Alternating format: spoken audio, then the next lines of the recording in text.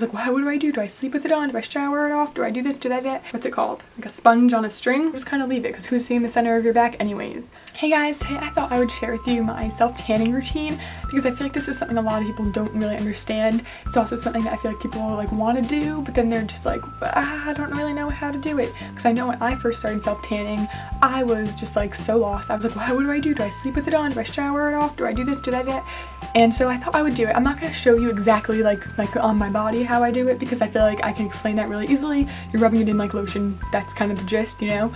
But I'm just going to kind of explain like my timeline of doing it. I do have an old video about this and it was also a review on the Saint Tropez bronzing mousse which is what I still use. I just use the darker one now. If you want to see that just to get that review on that product then I'll link that in the description box but I'm just going to share with you kind of my routine and maybe this will help you out and get you kind of into it. You obviously don't have to use the exact same product as me, but I do recommend this one. It is my favorite. I know it's kind of expensive, but it lasts so long. This is a super user-friendly product. Now, I've been talking about the product for a minute and a half. Um, this is it. This is the Saint Tropez Dark Bronzing Mousse. You can use the regular one if you're a bit paler than you think this will work for. They do make mini versions if you want to like try the mini cheap one to make sure you don't have any kind of reaction to it or anything.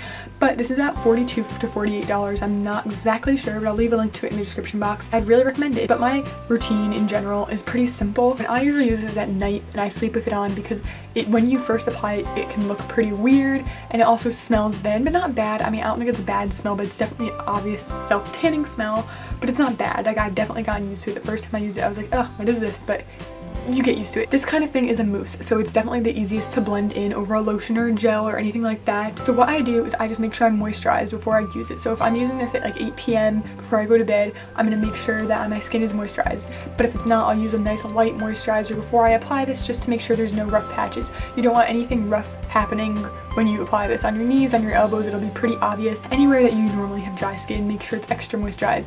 Also, don't apply this to your hands, like this part of your hands or at the palm of your hands, also to the bottom of your feet. Those are the two places you definitely don't want to apply it. I also wouldn't recommend it on your face because first of all, it could make you break out. They do make a face tanner, but I don't really like it. And the way you're going to apply it is with a tanning mitt. So once you're moisturized and you're set and you're ready to apply it, you're going to want a tanning mitt. Um, Saint Tropez does make one, I think it's around $10. I get these for $5 at Ulta.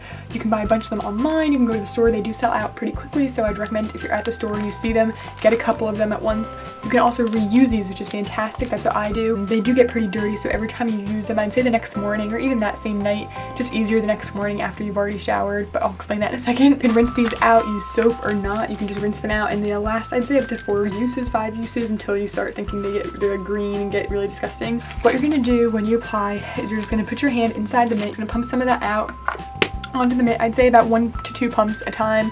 You don't want to put it all on at once and then be sitting there blending it in because it can dry pretty quickly.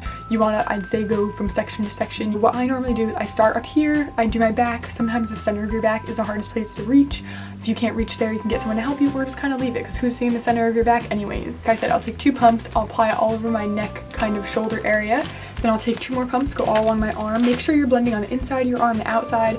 Make sure you're doing this in a mirror so that you can see that there's no streaks. This doesn't go on streaky at all, especially with the mitt, it blends so nicely, but make sure you're not like missing a spot. Because this is a dark lotion, you can see where you're applying the product. I do usually take what's ever left on the mitt after I've done my arms, and then I do take it onto my hand, but make sure you're not applying more or your hand's are gonna look really dark. Just whatever is left over on the mitt after you've rubbed in your entire arm, make sure you're just blending that really nicely and kind of fading that out because you don't want your hands to look orange. Do the same thing to the other arm, take it around this kind of central torso area, back, stomach, all that stuff.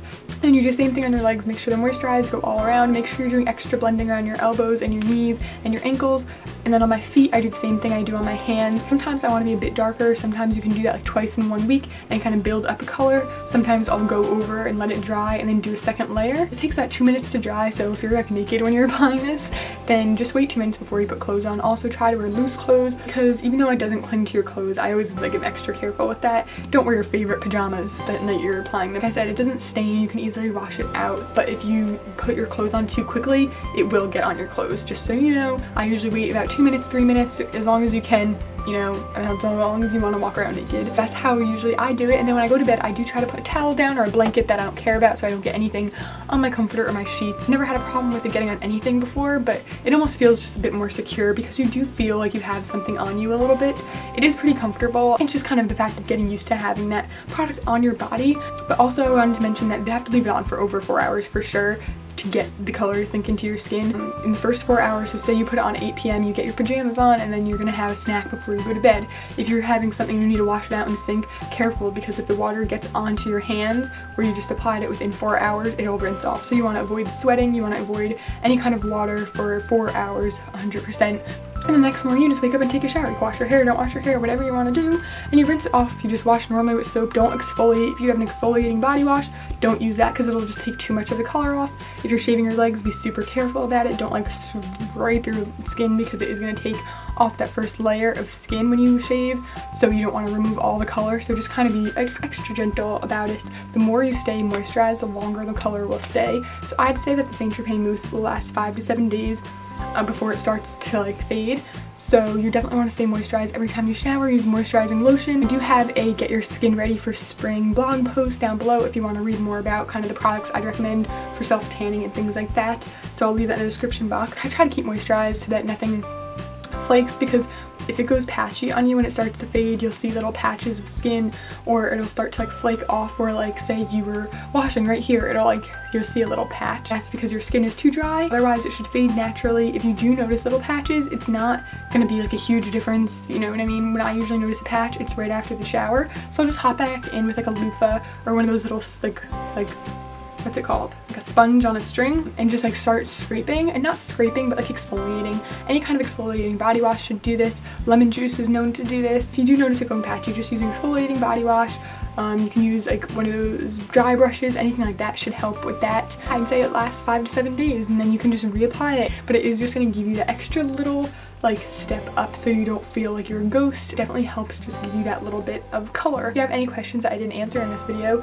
please leave them in the comments below and I'll get back to you as soon as possible. So thank you so much for watching. If you liked this video, please give it a thumbs up, especially if that helped you, which I'll be really happy about. Subscribe to see more from me and don't forget to watch my old videos if you missed them because they're pretty awesome. And um, I think that's all I have to say. Make sure to follow me on all my social media too. Um, I like doing social media, obviously, like everyone in the world. Anyways, thank you so much for watching, and I'll see you in my next video.